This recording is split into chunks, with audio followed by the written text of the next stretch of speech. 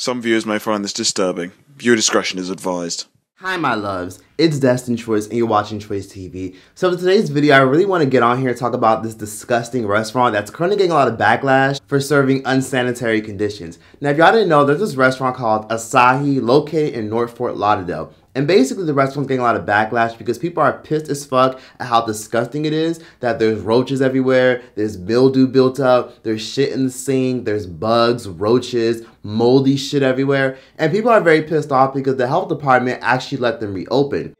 He has a key. We saw him open up the place, and someone at a neighboring business says he is the man. The place, Asahi Chinese Restaurant, it is at 8152 West McNab Road. It's in North Lauderdale. A state inspector recently found 19 violations here and ordered the place shut. Floor is as sticky as can be. There's an ant right there.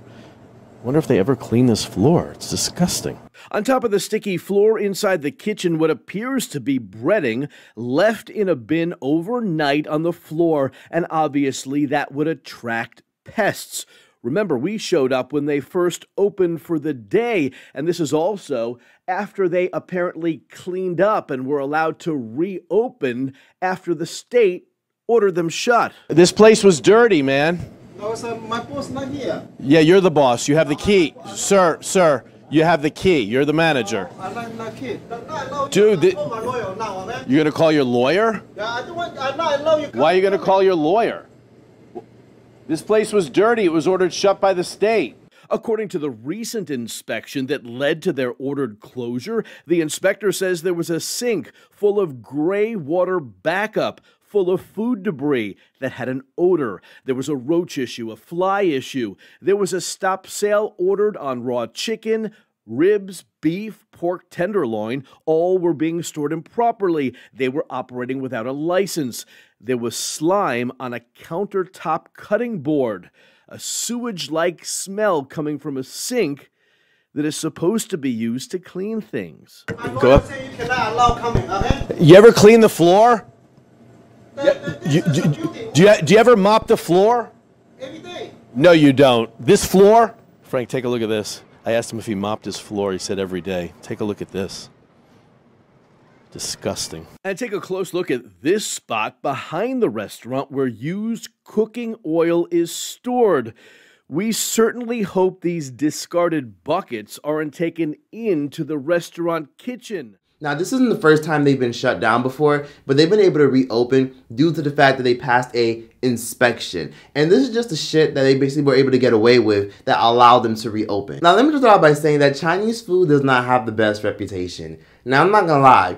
I've been guilty of saying they out here feeding us cats, rats, and shit, and roaches and shit, because truth be told, they really are sometimes. Now, let me just start by saying that Chinese restaurants don't have the best reputation for a reason. As you guys know, I even did a video going to the worst reviewed Chinese restaurant. Right here. Ugh, disgusted. The bathroom was disgusting. I feel like I was in a fucking crack house, trap house, brothel. I feel like the Asian bitch was probably slanging pussy in the bag. Like, it was just disgusting. There's dead bugs on top. Any fun they, they, they feed me rats. This shit is way too damn chewy.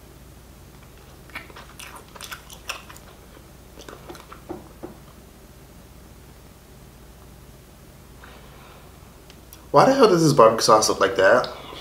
And a lot of people gave me a lot of backlash because people were like, oh, why would you say they're serving us rats and shit? That's racist. First of all, bitch, a lot of those stereotypes hold a lot of weight. You can usually tell a lot about a lot of restaurants just from how the bathroom looks. So one thing I always tell people this is if you ever go to a restaurant, always go to their bathroom if you're cautious or cognizant about eating there because the bathroom will tell you everything you need to know. On top of that, if you walk into a restaurant and the kitchen is right in front of you and you can't smell nothing, that's usually a red flag because that means they're probably serving you old ass food that they're reheating and it's more than likely not fresh. On top of that, there's thousands of videos every single year on YouTube that get re-uploaded of a Chinese restaurant getting blasted for serving us rats and roaches and unsanitary conditions. This is nothing new. This happens all over the states. I don't know. Shit, you tell me.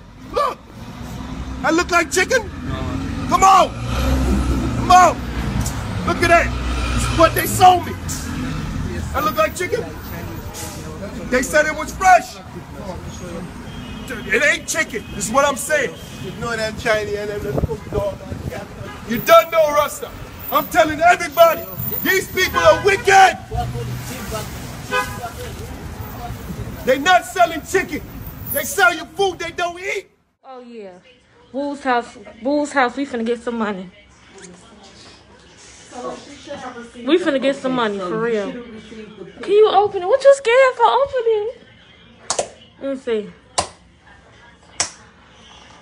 This don't make no sense. Wool's house. oh my god, yes! Bro, are you serious? Wow, I'm laughing right now. We gotta make this go viral. I swear, that is crazy. That's a real That is a real rat. At Wool's house. Like, are you serious? And I, And I always order that. wow. I always. And you know what? It, it just went Turn viral. around, let people see. Oh, woo! Come on, Dad. Come on, man. Cause don't let you do that. Oh my, y'all do not eat at Wool's house. Wow. Yes. Oh my god. And there's a reason why Chinese food is so affordable. Chinese food is relatively affordable because, dare I say it, the shit is garbage. It's worse than soul food and it's worse than Mexican food. Mexican food will kill you and soul food will kill you, but at least the people who serve it will actually eat the food. The people who like make Chinese food and serve it to you and sell it to you, they don't ever eat that shit. You guys gotta ask yourself a quick question. You guys ever notice how when you go to a Chinese restaurant or a Chinese buffet, yeah, it's usually real cheap, but you ever notice that you never see other Chinese people at the Chinese restaurants?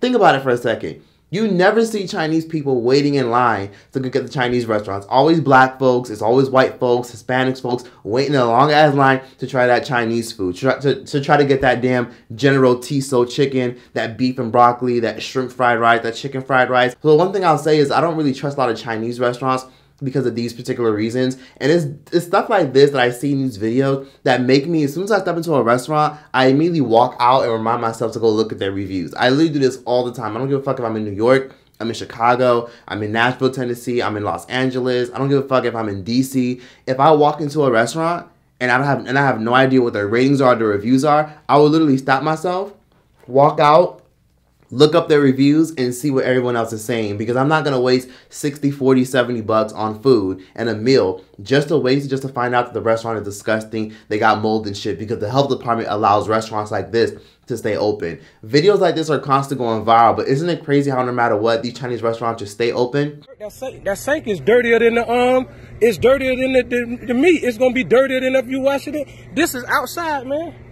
People come out there and piss and shit in that sink. That's not sanitary, man. They, I'm gonna call code enforcement. Anybody know what she's saying? Let me know. I'm finna wash my brushes. But why is the meat sitting in that nasty sink though? Oh yeah, y'all is, cause I know that's what y'all y'all got noodles right there. Y'all got the meat on the floor in here. Why is you putting that meat? You gonna serve that meat to people? You need to take that to the dumpster right there. You need to take that meat and throw it away. Oh, you cooking that for people? Okay. I'm gonna show y'all where we at, y'all. We right here. Uncle Poop, we live. I got my partner with me. We right here at the damn List Chinese Kitchen. Workers are actually shown cleaning what looks like an oven rack in the lake. They're actually scrubbing it there. And the restaurant's called Number One Chinese, and they're in number one trouble tonight with the Metro Health Department. News 4's Nancy Amons is live there with the latest. You have to see it to believe it. Restaurant workers scrubbing a greasy kitchen grate in Old Hickory Lake this morning. Manager on duty during that emergency closure. Did you know that you had any kind of rodent problem or roach problem? Yeah, I mean, sometimes it's really happen. I don't know. Just uh, we call the uh, pest control. They they done a very nice job. So if they done anywhere, then they don't find anything. But our I team uncovering it wasn't the first time inspectors shut down the restaurant. A year and a half ago, the state closed Ho Ho's again for rodent activity after finding almost 200 rodent droppings in various parts of the kitchen. I don't know what this is. This is fish on the floor. We don't know if it was going to be cooked or used for sushi, but we do know it doesn't belong on a filthy, wet, greasy kitchen floor. We are in the kitchen at China Buffet at 11379 Bird Road. Inspectors recently found 110 violations here, and we saw some of the issues still exist. You have steak on the floor. Can you just take the steak off the floor? That bin of raw meat was very close to that piece of fish we found on the floor. No one could tell us what was in this sink in the dishwashing area. There are three full pages of violation after violation.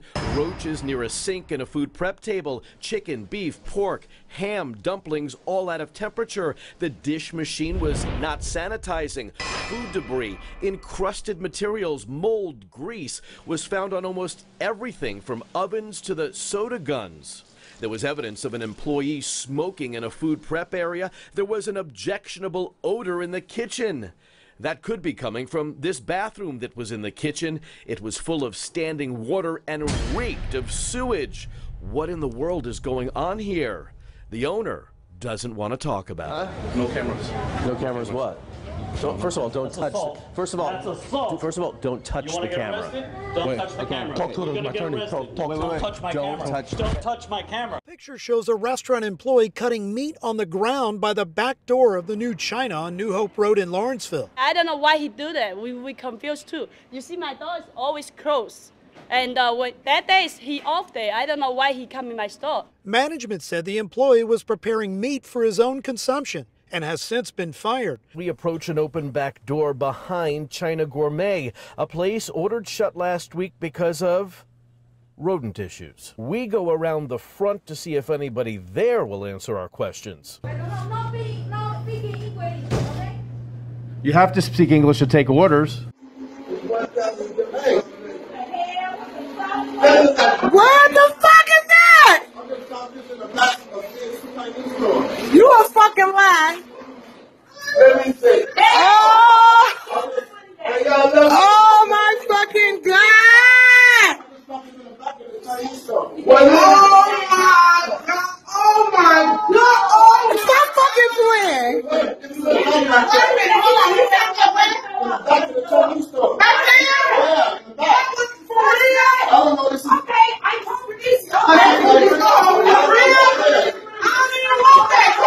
What the fuck is that?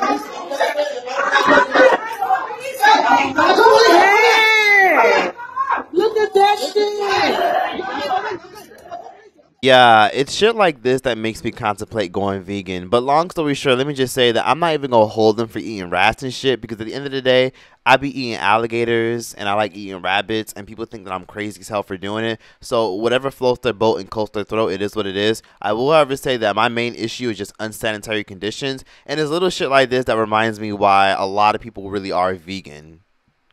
They stay open, they continue to be open, and nothing ever really gets done. And it's crazy because people always say, oh, well, I don't go to that Chinese restaurant, I'll just go to the other one. Meanwhile, what your ass don't know is they probably own that one around the corner too, or they probably own the other three all, all the way across town. So that's why like I'm very skeptical of a lot of Chinese restaurants because they themselves don't eat that food. So why the fuck would I want to eat some shit that you yourself wouldn't want to eat? And it's stuff like this that really reminds me why I like to eat at home because eating out has been relatively so expensive nowadays. There's no reason why I should be eating out and I'm paying like $70 for food. Like I don't know if it's just me, but whenever I go out to eat at a restaurant, I notice that I literally be spending like seventy dollars on my meal, and sometimes I don't even be getting shit. I'll get a salad, maybe some wings and some fries, or I'll get a salad, a basic sandwich, or a basic signature dish, and then I'll pay like seventy five bucks because I added a drink on top of my meal. And it's not racist to be skeptical of Chinese food, because I'm not gonna lie. One thing I'll say is a lot of people were very skeptical of Chinese food during the pandemic, because as you guys know, we had this damn Pandemic Express that came out of nowhere.